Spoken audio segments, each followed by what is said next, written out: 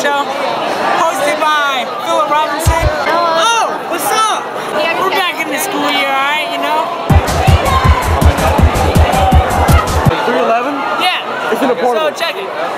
This is the first day of school. And I have my boy Dion, and he's a senior. book. Yes, a senior. No one